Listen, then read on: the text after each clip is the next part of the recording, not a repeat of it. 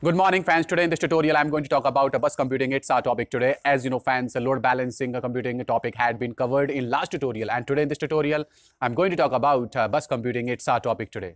So fans, first of all I would say to you all if you have visited to our channel Naresh English program, please subscribe, hit the bell icon to get latest videos about computer hardware networking and English speaking presentation etc. Anyway, let's talk about uh, bus computing.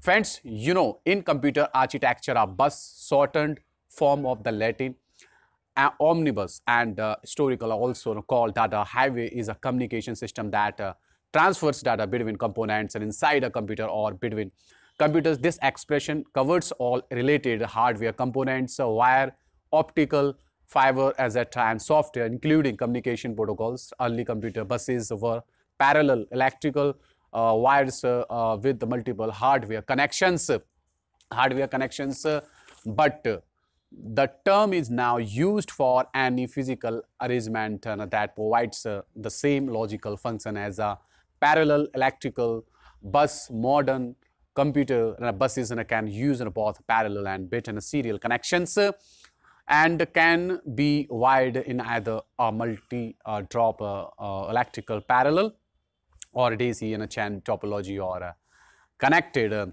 by switched and hubs as in the case of uh, USB. So fans, now how did you like this tutorial? Like, share, comment for me and thanks for watching my video.